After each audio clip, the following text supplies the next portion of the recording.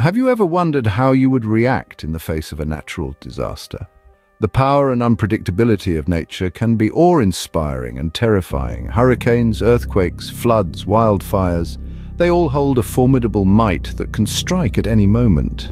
This inherent uncertainty makes it all the more crucial to be prepared.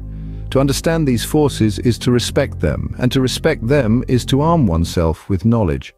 Remember, when confronting the unpredictable fury of nature, preparation is key when dealing with the wrath of nature. Knowledge is power, and in disasters it can be the difference between life and death. Now, let's touch base on the first and foremost step towards safety. Preparation. An emergency kit is not just a box of supplies, it's a lifeline. It should contain essentials like water, food, medical supplies and important documents, but it's not just about having the right tools, it's about knowing how to use them. So, create a family plan, discuss where to go, how to get there, and what to do in different types of emergencies. Stay informed about potential threats. Understand your local evacuation routes. Have a contact list of emergency services and keep them handy. It's about being proactive, not reactive. In the face of the unknown, it's easy to feel helpless, but with preparation we can gain control, we can make ourselves resilient. Remember, a good plan today can save your life tomorrow. Imagine a disaster has struck. What do you do? Your heart is pounding, adrenaline surges through your veins. This is not the time for panic, but rather the time for action. The first step is to stay calm. Your brain is your greatest asset during a crisis. By maintaining your composure, you're better able to make quick, rational decisions. Next comes the plan. Remember the preparation we discussed earlier? Now is the time to put it into play. Review the plan in your head, or, if time allows, pull out your physical copy. It's your roadmap to safety, guiding your steps amidst the chaos. Listening to local authorities and news sources is crucial.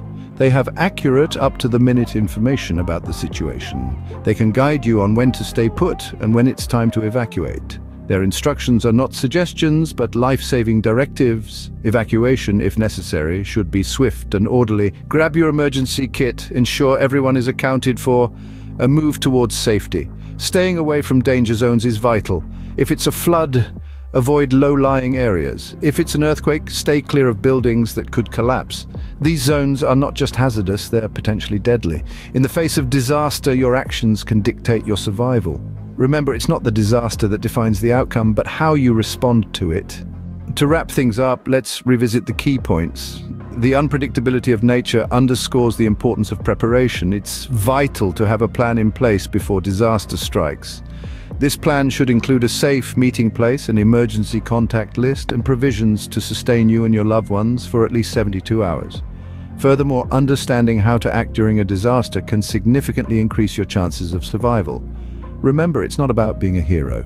It's about staying safe and ensuring the safety of those around you. Don't keep this information to yourself. Share it with your loved ones, your community. Spread the knowledge because in the face of a natural disaster, the more prepared individuals there are, the better the chances of survival for everyone. Remember, in the face of a natural disaster, knowledge and preparation are your best allies. Stay safe and prepared.